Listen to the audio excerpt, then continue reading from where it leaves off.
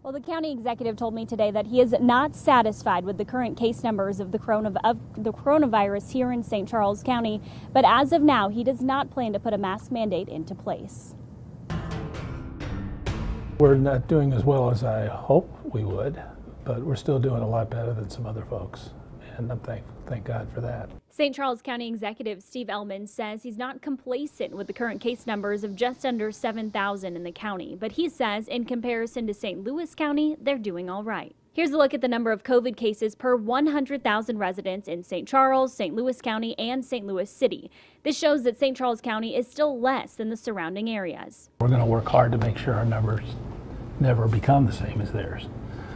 But uh, yeah, if they do, we may want to do the same thing. I'd be the last one to, uh, you know, to second guess what they're doing. Ehlmann says they might be putting more restrictions in the county if they had as many cases as St. Louis County, but as of now, a mask mandate is not coming. Do I see us doing a mask mandate?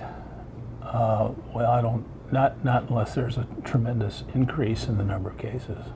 What we're seeing now doesn't indicate uh, doesn't indicate that type of change. And as far as bar restrictions, if we have to close the bars, we'll close the bars but I hope we don't have to close the schools.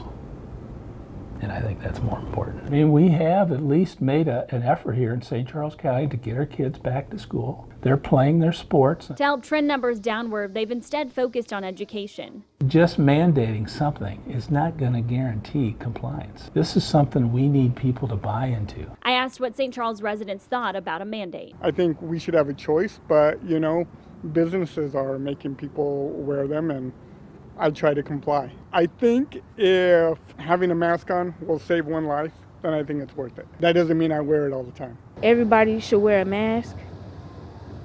This just for the community, so like it could drop the COVID rates.